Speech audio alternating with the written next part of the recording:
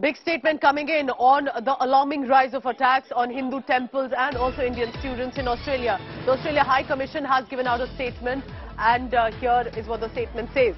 I quote the statement, saddened by these scenes so soon after Australia and India celebrate diversity and unity on their respective national days.